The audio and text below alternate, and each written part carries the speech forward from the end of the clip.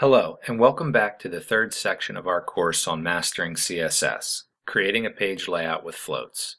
In order to create a multi-column layout supported in all browsers, we are going to use floats. Floats are very simple at first glance, but have a few unintuitive quirks to them that can cause some frustration when not completely understood. This may be due in part because the true origination of floats wasn't for layout. It was to achieve the common magazine technique where text flows easily around an image. So in this section, we're going to deep dive into floats, going over the basic usage of floats in this video, followed up by creating a layout with floats and curing the headaches caused by floats. Let's start this section with an introduction to floats. We'll first talk about the original purpose of floats, followed by the basic problem that floats caused and how to clear elements that come after floats. So we have a new HTML page about shark movies. Now looking at this page, it's basically an image on top of a title on top of some text, on top of a link.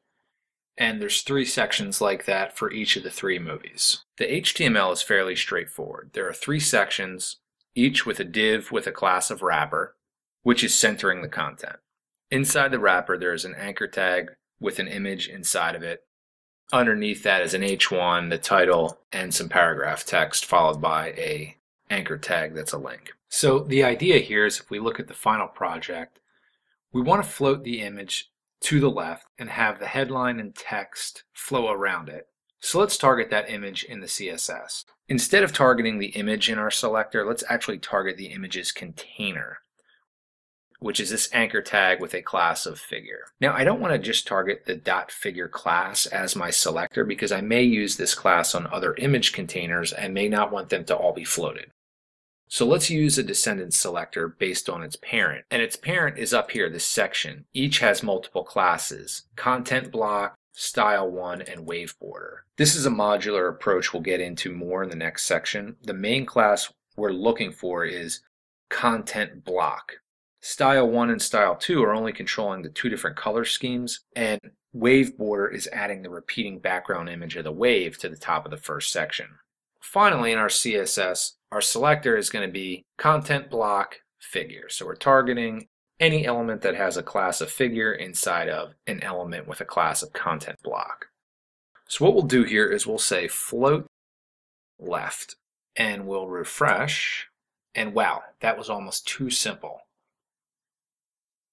We achieved almost exactly what we set out to do for all three sections. So let's add a background color to the H1 and the P. Just kind of see what's going on here. We'll just give it a background color of green. Notice how the backgrounds go behind the image. The text is flowing to the right, but the elements themselves are no longer seeing the floated element, the image, as part of the normal flow. Floated elements themselves change when their display properties are affected. For instance, the anchor tag, or really the, the anchor with a class of figure that was floated, starts acting like a block level element it will now respond to width and margin top and bottom as we've seen it already responded to the margin bottom. However, it won't necessarily force a new line. So let's float it right, and that should have a very similar effect. And I'll refresh, floated right. I can use the clear property to stop elements underneath the floated element from misbehaving. For instance, let's add the clear property to the paragraph.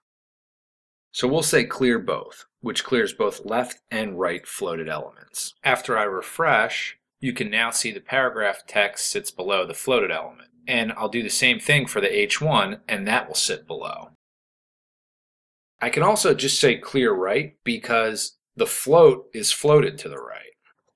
And that works. So the H1 also sits below the dot figure. However, clear left here that wouldn't necessarily because there are no left floated elements here. None is the default value for both float and clear. So I can either say clear none on both of these.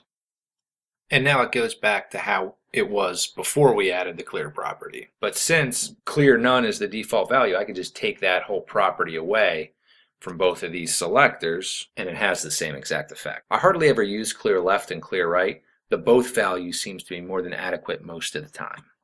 Okay, so in this video we've seen the traditional use of floating elements and how elements underneath the float flow around the floated element. This can be stopped using the clear property.